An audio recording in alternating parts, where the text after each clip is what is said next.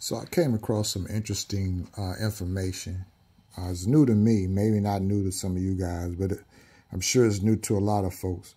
Out of the African people and European holidays and mental genocide by uh, Ashakamus um, by Ashango, Book One, it talks about how Saint Augustine um, is uh, so-called black. Uh, we would say uh, Asiatic, original man, being Asia being the the whole uh, world name Asia. At one time, all the continents were one continent. However, we'll go with so-called black for conversation reasons. And um, saying St. Augustine, which is the oldest city in America, uh, United States, should I say, um, was named after him. And the Spaniard, Spaniards, so-called Spaniards, um, is the one, you know, rule was had founded St. Augustine, which uh, to me indicates some uh, Moorish descent, uh, some African descent, certainly. But I thought it very interesting. This is the Catholic Herald, right? And it goes on to talk about this, how uh, St. Augustine was from Niger Algiers. Um, trying to see if I can locate the paragraph that said that. Um, but it also went into about Paul, um, indicating that Paul uh, was African. I, I, I subscribe that uh, many of the said uh, disciples, and of course our brother said Jesus uh, was a brother. but uh, let me see if I can find that little piece. Um, going on about too about how Rome was a was the America of today. It was integrated. All different types of ethnic and nationalities was there, and they came under uh, the um, monarchy of uh, being Roman. Uh, some of the best Christian. That's not it. Let's see. Professor Beard makes it clear. Professor Mary Beard, obviously, she's making note of the diversity and racial diversity of Roman citizens.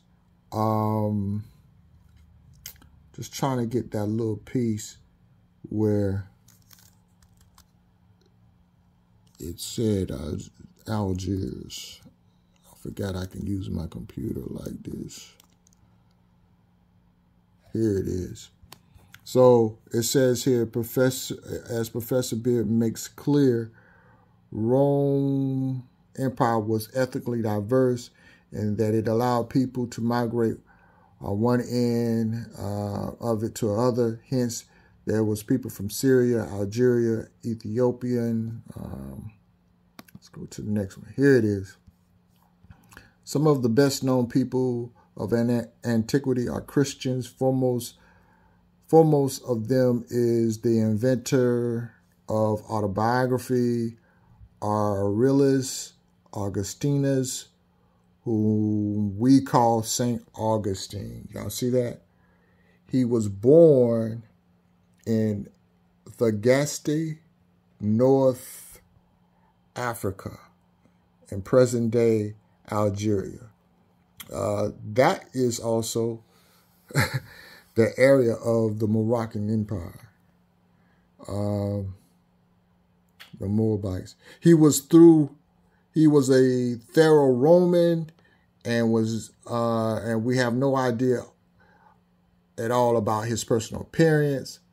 All pictures and statues we have of him tell us what various artists thought he ought to look like. However, let's jump down here. However, uh, his mother called Monica, or some scholars render Monica. You can see how America is in that word to come from some of these words. uh, which again re relates back to uh, uh, the Moors or so-called blacks, right? Assuming she too was a native of Thagaste and gave the clue in her name, it is assumed by many that Monica was of Berber origin.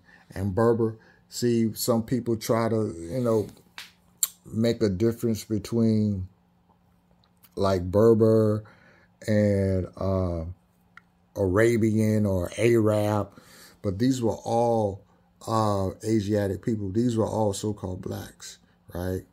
Uh, different shades and different folks and things like that. So it's interesting to me that I could I can come here and get this right, and I can go to an article on the history of St. Augustine, right? And they are talking about, they begin with the slaves. um, I saw that in a St. Augustine news article that was talking about the history. Here it is, this right here. In St. Augustine, Black history begins at the beginning. And if you click this on, right, it's probably going to give me some ads. What are you first you see? The first thing you see is Dr. Martin Luther King, right? The picket line, and they're fighting about uh, don't buy in segregated St. Johns County, right?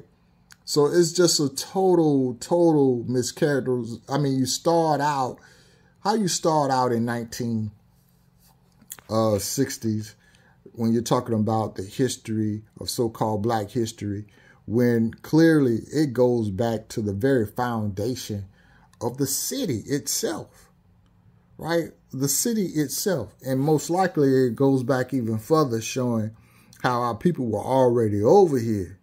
And that's why St. Augustine, so-called St. Augustine, was able, and the founders and the uh, so-called Spaniards was able to honor the man and honor the people that was in the land. You know, it, it makes total sense why they would name the place that because the people, uh, the people usually are connected to the land and associated to the land.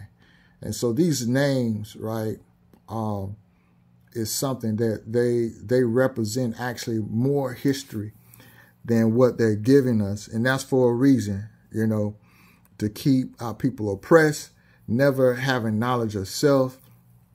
And when you can't uh, honor your mothers and fathers, right, uh, you can never be, you can never manifest uh, that DNA, that that that DNA connection with you because you are your ancestors' return, right? So that's just a little something that I found very interesting. Hopefully you found find it interesting and maybe want to look into it even further. So peace and love. It's Marshall. I see y'all in the wind.